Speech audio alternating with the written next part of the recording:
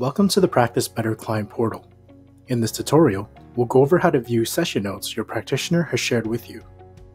You are able to access shared session notes in a few different ways. You can access your shared notes directly from the Client Portal dashboard by navigating to the Session Notes widget here.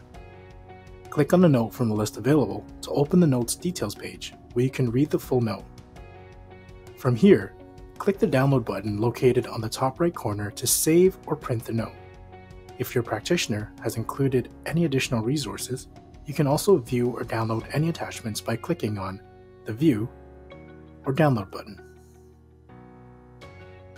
Alternatively, if you are not on the Client Portal dashboard, you can always access your notes by clicking on My Resources, then Session Notes. This section displays all the notes that have been shared with you. To read the full note, click on the note title to be redirected to the notes details page. Any attachments your practitioner has included will again be available just below the note title. It can be accessed by clicking on the View or Download button.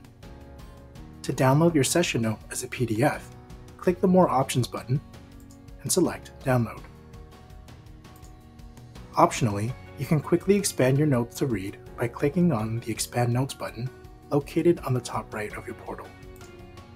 Any attachments will be displayed beneath each note. This concludes our tutorial on how to view shared session notes. Please check out our Help Center for more information and resources.